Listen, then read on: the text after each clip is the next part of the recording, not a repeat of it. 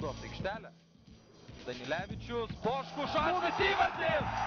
Štai taip, Robertas Poškus pagaliau nutraukė tą neįmuštų įvarčių seriją ir išveda savo ekipą į priekį. 23 rungtynių minutė, rezultatas 1-0.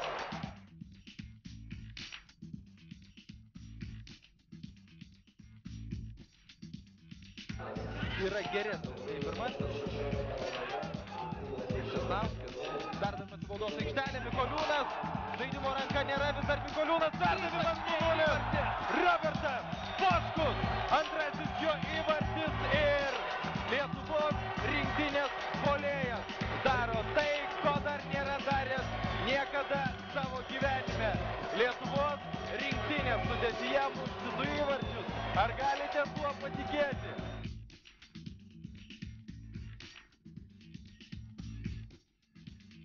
Akivaizdžiai per pertrauką nesugebėjo nieko pasakyti Moldovos treneriai. Kalonos šansas. Česnauskis yra greunamas. Nugaros greuna jį varžovas Aleksandras Suvorovas. Ak, koks įdomus rungtynių arbitro sprendimas. Laisvas smūgis į Moldovos vartus. 20 žaidėjų ir vienas teisėjas. 21. Futbol, e, Nu, ir